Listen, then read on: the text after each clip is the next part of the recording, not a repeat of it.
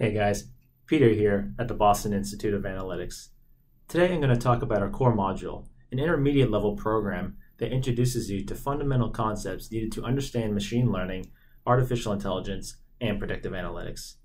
In this module, you will learn various modeling techniques with a focus on R and Python computing and statistical mathematical concepts, as well as their real world application in business.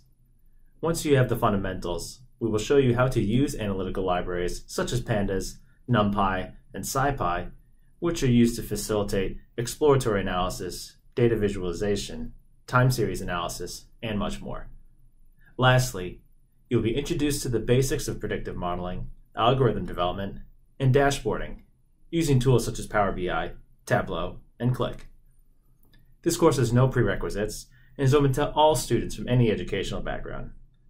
We look forward to seeing you soon and providing you a well rounded technical foundation to confidently enter the field of data science.